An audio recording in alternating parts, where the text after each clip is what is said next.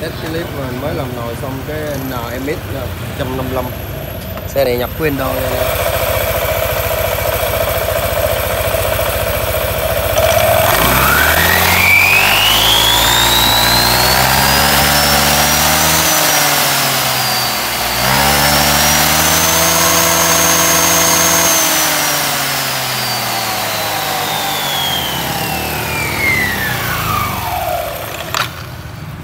thấy rõ nha nó chạy nó lú qua luôn.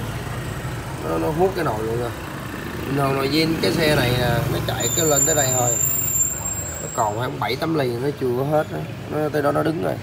Ví dụ như chạy à, trăm mốt là đứng rồi nó không lên nữa. Làm nồi đúng không à, nó, nó, nó qua luôn. Rút hậu hơn. Với lại mình làm là nó hết bị à, rung ra đầu luôn nha anh em.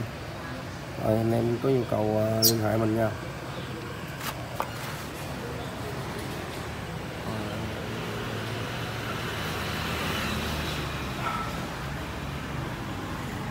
Còn